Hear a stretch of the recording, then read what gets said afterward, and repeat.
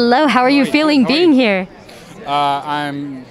It's uh, it's been a long time coming, but we're very happy to be here. Yeah, yeah, yeah, yeah. In terms of this season, is there anything in particular that the audience is going to be talking away about? Obviously, it's 100%. intense. I think you know specifically with this episode 401.